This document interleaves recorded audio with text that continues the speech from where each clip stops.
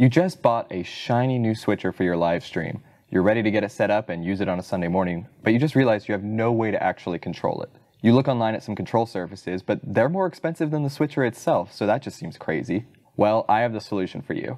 It's a free piece of software called Companion, and it lets you control your switcher and other parts of your live stream using a simple little piece of hardware called a Stream Deck. Let's take a look at it. Companion is a free and open source piece of software that allows you to control lots of devices and software on your network. Now, a Stream Deck is a small device that has a bunch of buttons on it. These buttons can be programmed to control all sorts of things using the default Stream Deck software. But when combined with Companion, it can control devices all across your network and even over the internet, depending on what they are. We can configure all of that and more in Companion so that it can be their central hub for running your live stream and other parts of your church production. There are a few different sizes of Stream Decks depending on how many buttons you need, etc., but they all range from about 100 bucks to $250 on the high end. When compared with a traditional video switcher control surface, it's a bargain. So for those budget church live streamers out there, this is honestly the way you need to go. Great, so now that you know what they are, how do we actually get them set up? Well, I'm gonna show you. Let's take a look at my computer here. So if you just Google up Companion, you can find it here. It's made by BitFocus. We go down here to the download button, we just click on that, and it'll take us to this other page. You do actually need to create a user account and sign in, so I'm just gonna log in real quick. So now that we're logged in here, you can see the different offerings that they have, but we'll go up here to regular Companion. You go ahead and click on this, go ahead and click download, take you to this page where you can actually choose the version that you want. I would recommend staying away from a beta or experimental build because it's definitely going to have a few more bugs than just the standard stable build. So again, we just want standard companion. We'll click on this. Most of you will either be Windows or a Mac, and then on a Mac you just need to pick if you're using one of the new Apple Silicon, so M1 or M2, or one of the older Intel machines. Once you click on that, you'll actually get the download started. After you download it, you just run the installer and then it automatically boots up and starts running on your machine. I actually use the version that runs on a Raspberry Pi. Now, if you don't know what a Raspberry Pi is, it's a very small microcomputer. Now, if you were running a MacBook or something like that, you don't really want to take your $1,000 computer and only have it do one tiny thing. But for a Raspberry Pi at the price, that's perfect. It also takes up a tiny space on our video card. It's literally about this big. It's great for running Companion because we just turn it on with the rest of our system and never even think twice about it. Once you have Companion installed, it actually tells you how to access it on your network. You do this using the IP address of the computer that it's running on, along with a specific port number that it tells you. So we can see here, if I go to my Raspberry Pi instance that's running it, it's at our IP address and then a port number, and it loads us up right here into the Companion homepage. So what are we looking at when we're on this page?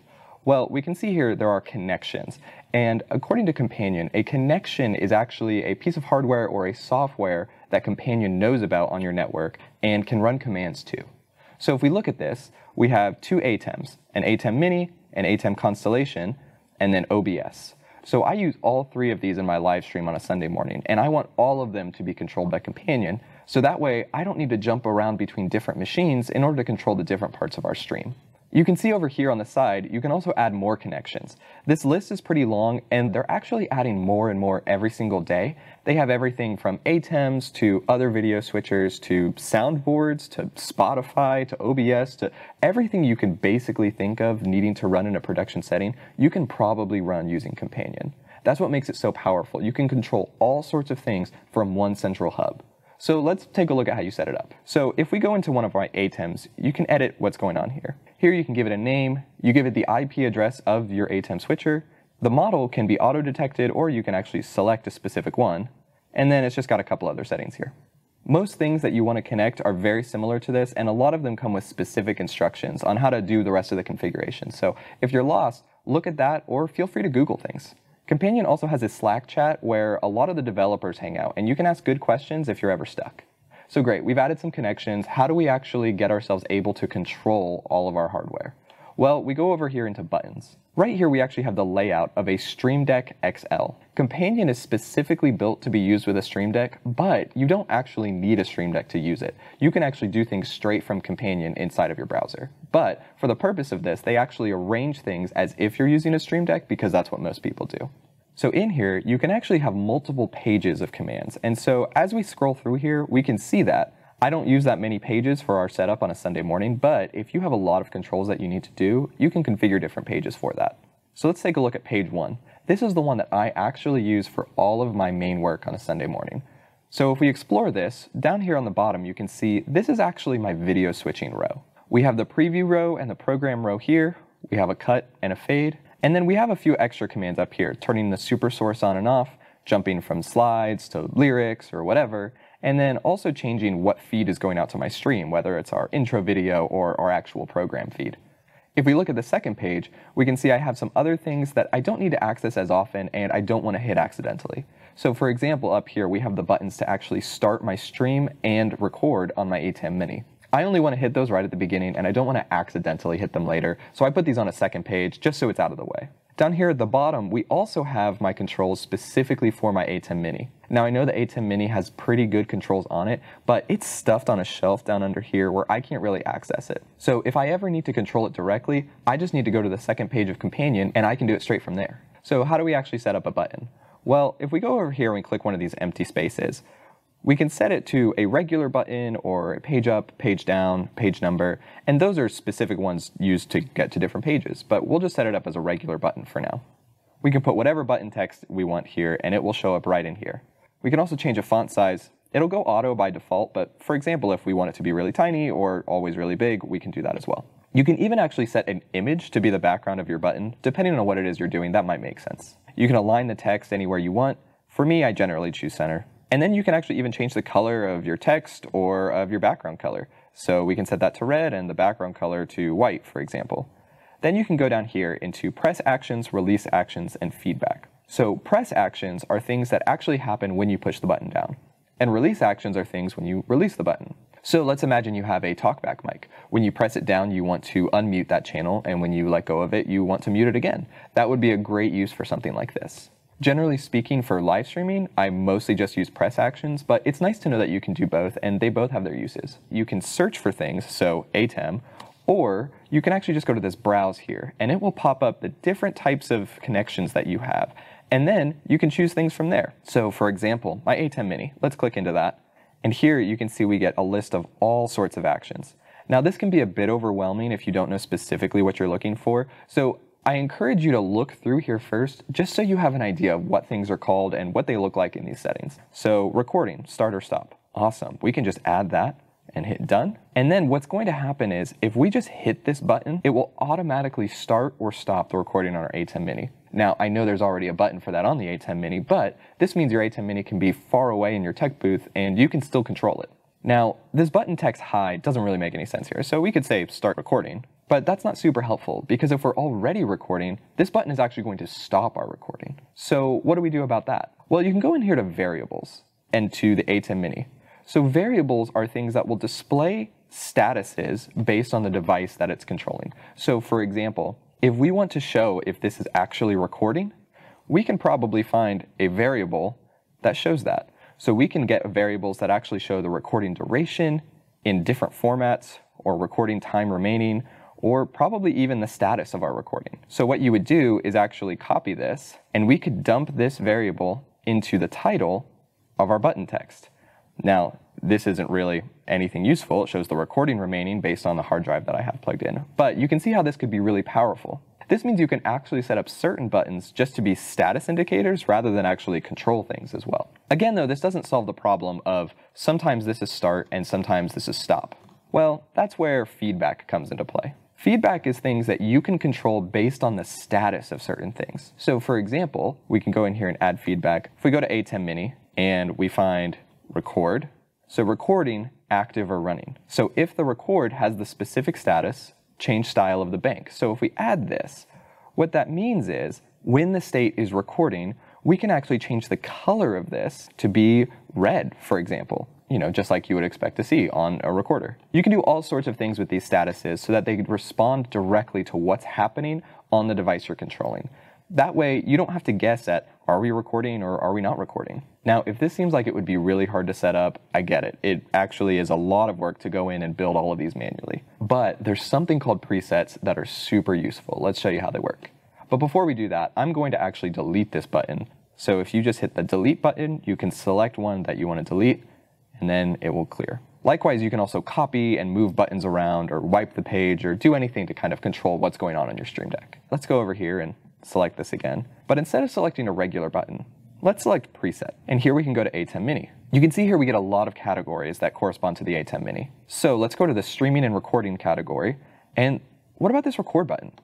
Let's go ahead and drag that on there. And then let's investigate it. Let's click into it. So right here we can see the button text. It shows record, and then it actually has the variable for record duration. That means that it's going to show the word record and how much time you've been recording for. If we go into the press actions, we can see, okay, great, yeah, recording start or stop. That's what we saw before. And if we look at feedback, if it's recording, it's actually going to set the background to green. And if something else is happening, so for example, if it doesn't know what state it's in, it changes the background to yellow. So all of a sudden, we've built a button that does everything we want to do to be able to start and stop recording and show the status of the recording, but with one click instead of having to configure all of this ourselves. I hope you're starting to see how powerful this is, because what this means is we can build entire banks based on these presets that do exactly what we want it to do.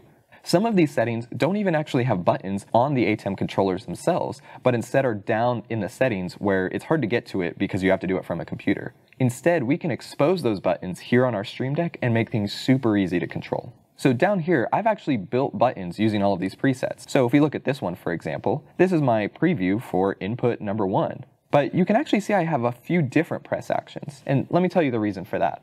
This is another superpower of Companion. You're able to stack actions on a single button. So on our ATEM constellation that we use for switching, we actually have two mix effects. What that means is we essentially have two switchers in one. Now, the way that we use them is not necessarily traditional, but for the most part, we actually want to send the same inputs and outputs to each mix effect. So anytime I hit the preview button, I actually want that to take effect on both mix effects. Directly on the ATEM constellation, you can't actually do that.